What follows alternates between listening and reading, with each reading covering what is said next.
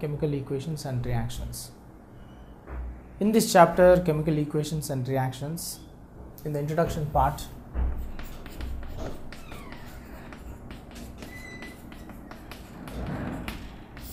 in the introduction, what is that we are going to study in this chapter?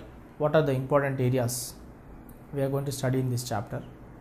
The important uh, concepts are in this chapter we are going to study that is first one. Meaning of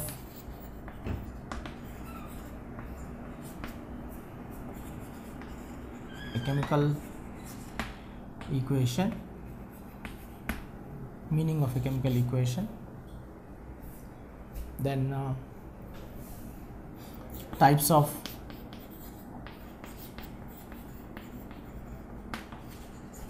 chemical equations types of chemical equations then the chemical changes physical physical states physical states of physical states of species in chemical equation in chemical equation.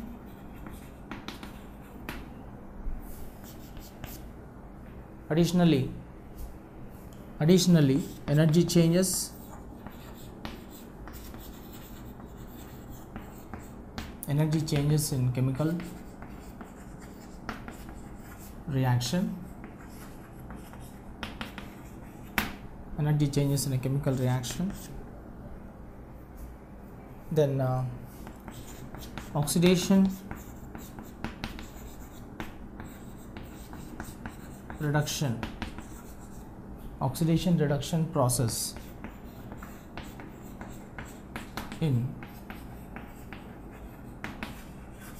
chemical reaction. Chemical reaction.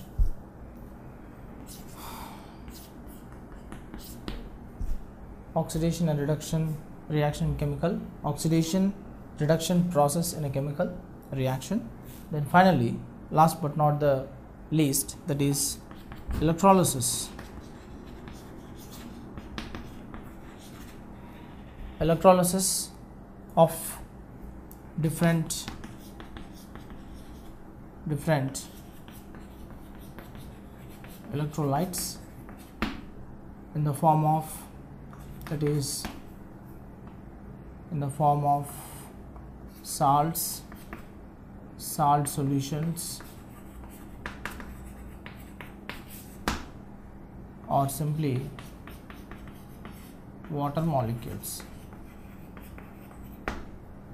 This is the introduction part in the chemical equations and reactions.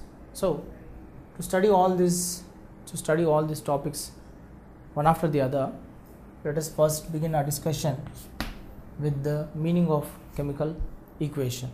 A chemical equation is also called as a chemical okay?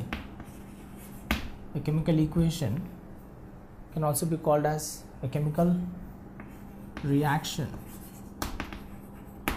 okay